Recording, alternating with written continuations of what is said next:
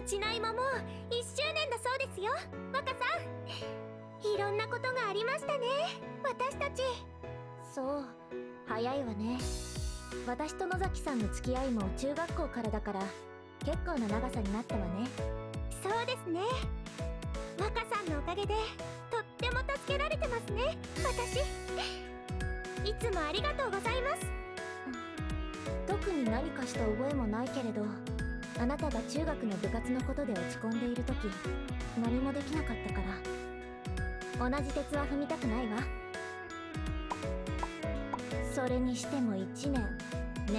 もう。若さん何か怒ってます？この1年お兄ちゃんの成績が伸び悩んでるの。やっぱり私がつきっきりでコーチしないと。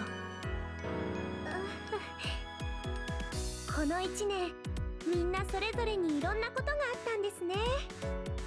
1周年まであと4日。